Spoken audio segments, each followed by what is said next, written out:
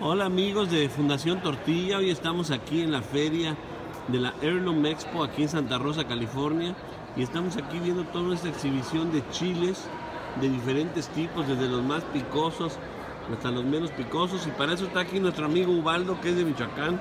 Hola a todos. ¿Qué tal este, Ubaldo? Buenas. ah, gracias Rafa, gracias a todos. Saludos desde Santa Rosa, ah, originario de Michoacán, cerca de Pátzcuaro, a todos, a la familia en Jalisco y todos. Aquí estamos presentando un poquito del material que me gusta a mí manejar, que son los chiles. Ah, como dice Rafa, tenemos chiles eh, de todos tamaños. Chile grande, chile rayadito, chile blanco, chile, eh, eh, en fin, es una infinidad de tipos de chiles.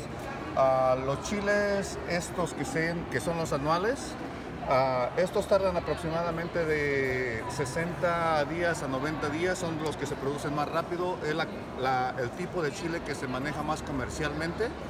Dentro de estos tenemos el poblano, tenemos el, el cayenne, el chile de árbol, el tailandés, el jalapeño, pero dentro de todo este rango... ¿Este cómo se llaman? ¿Estos son cápsicos? es- este, Anum, anum. Anum, y este es Fresno, este ya es de Estados Unidos, que es un híbrido, Ajá. pero ya establecido también ah, ah, en bastante tiempo.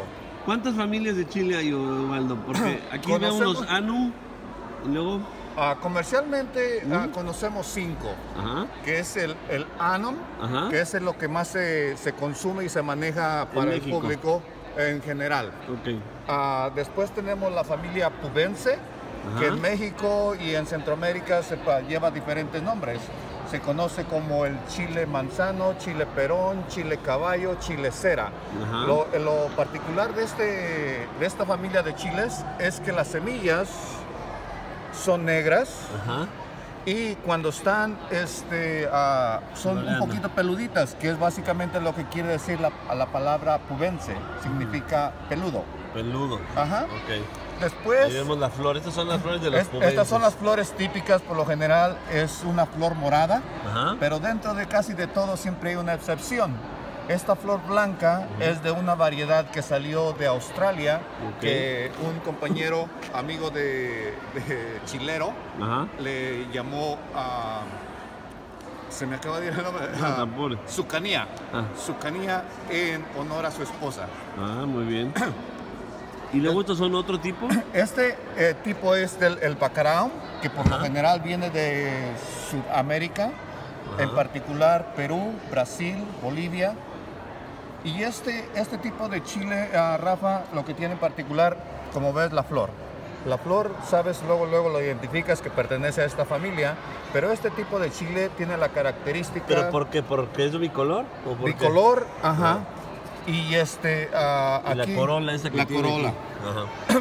Este, este tipo de chile se eh, caracteriza porque tiene un sabor frutal. Un, sabor que a veces es, es donde se le va dando el nombre a la variedad.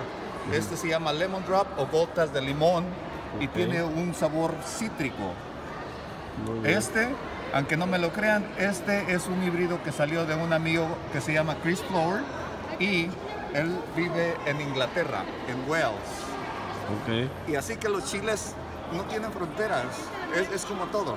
Han Los chiles, desarrollado en muchos países, ¿verdad? los chiles se pueden cultivar en todas partes del mundo. Tengo amigos en ah, Holanda, Ajá. Italia, Alemania, Australia, Inglaterra, que ya lo mencioné, México, claro, a Brasil, Colombia, Perú, Bolivia, o sea que y Excelente. a- Argentina también. Estos se pueden cultivar en cualquier parte del mundo teniendo, claro, precauciones y conocimientos de Para cuándo que no se se pueden mezclen, plantar, ¿verdad? cuándo se pueden plantar, cómo se pueden plantar. Oye, Ubaldo, ¿y todos estos chiles los sembraste tú en tu casa? La mayoría de estos chiles son sembrados en mi casa. Tengo algunas colaboraciones de otros amigos porque a veces ya este, no todos van a estar dando frutos para este tiempo. Claro. Así que a veces hay colaboraciones de otros amigos para ayudarnos aquí a la exposición, para venir y presentar un poquito de material para todos los niños que vienen de las escuelas, Sí, aquí principalmente. miren, miren la exposición, ahí están las calabazas, ahí están sandías, melones, frutas, uvas, Ahorita les vamos a ir enseñando, pero aquí a Ubaldo le toca exponer acerca de los chiles. Mira, ya Y llegamos. cuéntanos de estos chiles, de estos otros tipos de chiles. Este chile básicamente ya pertenece a la familia del habanero y esta es el- la, la flor típica, el color. Y aquí ya Ok. estamos hablando de, ah, aquí tenemos un habanero blanco que este ah, lo pueden encontrar en el área de Yucatán, en México.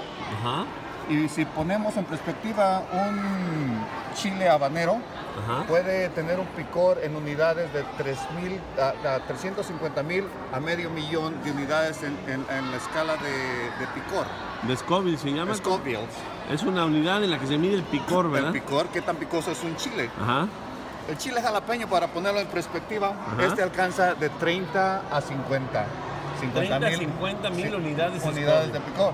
Este ya estamos hablando de 350 a medio millón. O sea, 10 veces más el habanero Sí. blanco. Y si esto ya es picoso, A ver, platícanos cuáles son los meros aquí- chiles picosos. Aquí tenemos el famoso Bachaloquia o el chile fantasma, que este es originario de, de la India. Este ya está catalogado que alcanza un picor de un millón de unidades en la escala Un de millón de unidades, imagínense nada más. Y Todos como estos que tienes aquí son chiles ultra picosos. Súper ultra picosos, este, a la gente que no está, ah, este, que no los maneja, es recomendable que utilicen guantes y que no se toquen partes sensitivas después de manejar un chile. Pero aparte de eso, Rafa, por acá tenemos el que está ahorita en, en- en- en el récord, que es el chile más picoso, que es el Carolina Reaper.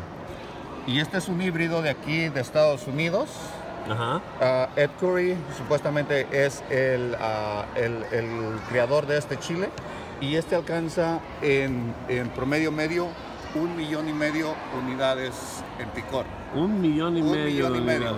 Si lo ponemos en perspectiva, es cuatro a cinco veces más picoso que un habanero. un regular. habanero, ¿no? Que de por sí. Sí. ya nos pica demasiado, ¿verdad? Así que vamos a ponerlo en perspectiva, esto ya es casi jugar con, con fuego. No, pues súper bien. No, pues muchas felicidades, Ubaldo.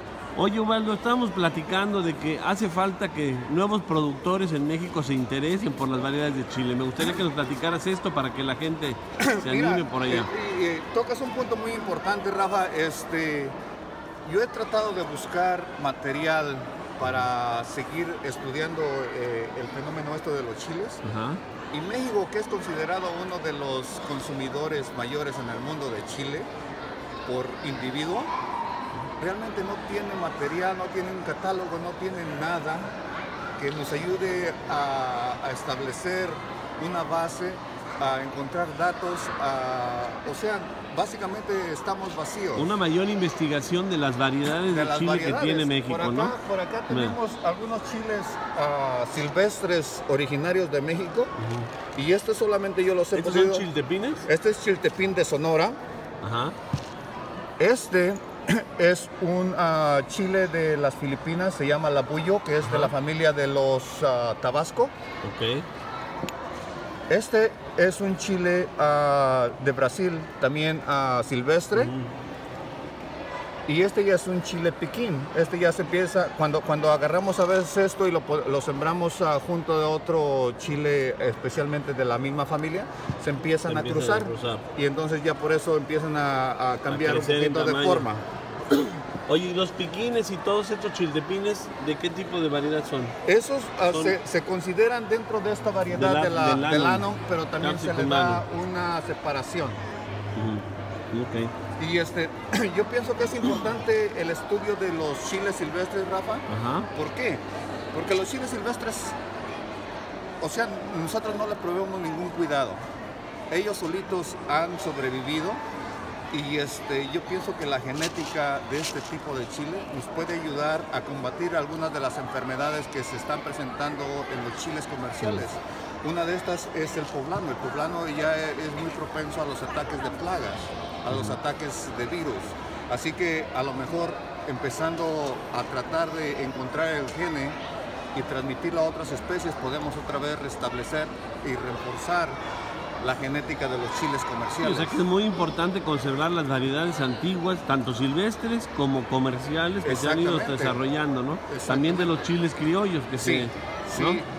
Todos los chiles que, que se han consumido en el país y que desafortunadamente hoy en día se están sustituyendo por variedades que vienen de otros países, ¿no? Exactamente, ya muchas de las, eh, eh, este, si lo crean o no, muchos del poblano que se uh, consume especialmente en Estados Unidos y en México ya no es ni de Puebla, mucho de esto ya viene de China.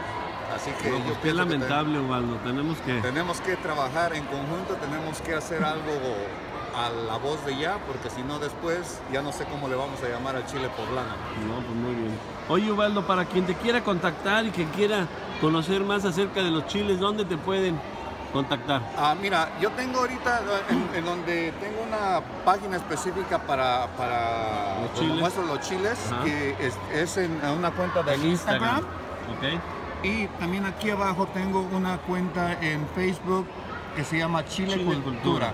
Ahí ah, es donde, donde este, me gusta compartir diferentes uh -huh. uh, recetas, diferentes uh, usos de diferentes chiles uh -huh. alrededor del mundo. Perfecto, muy bien. Pues muchas gracias, Ubaldo, y pues felicidades no, no, por este gran trabajo. Rafa, gracias, gracias a ustedes y este, también el mito de que los mexicanos son los que comen lo más picoso, ya casi eso debemos de dejarlo por un lado. Yo conozco amigos americanos Ajá. o europeos que se pueden comer uno, dos, tres o cuatro chiles, que es el más picoso del mundo, y como si sea, nada. Como si nada. Así que nosotros los mexicanos tenemos que ya dejarnos de ese mito que los mexicanos somos los que comemos el chile más picoso, porque realmente ya, te, ya quedamos un poquito atrás. No, bueno, pues muy bien. Pues muchas gracias, Ubaldo, y pues felicidades por todo este trabajo. Vamos gracias, a... gracias, Rafa, y este, a todos los amigos de México les uh, invito, si tienen la oportunidad, de venir acá, pero también les invito a la, al gobierno mexicano de que esto también se puede hacer en México. Debemos de trabajar para presentar material, para presentarlo a las escuelas, para inculcar que la diversidad es buena. Muy bien. Pues muchas gracias, Osvaldo. Gracias, Rafa.